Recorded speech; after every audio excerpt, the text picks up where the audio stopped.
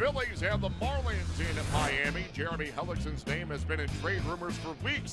He's in a two-on, one-out jam, though, bottom four in a scoreless game. But the dangerous Giancarlo stands in a big out number two. And the next batter, Marcell Ozuna, grounds into the force.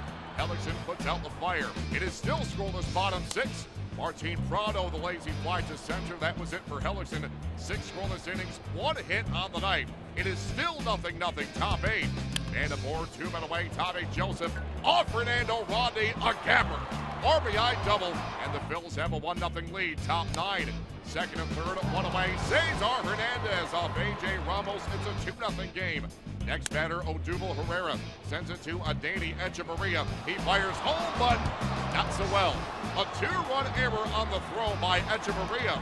And the Phillies win it 4-0. It's their major league leading 11th shutout of the season, despite ranked to 17th in the majors in team ERA. Jerad Eickhoff goes for the Phillies on Tuesday. He'll be opposed by Tom Cole.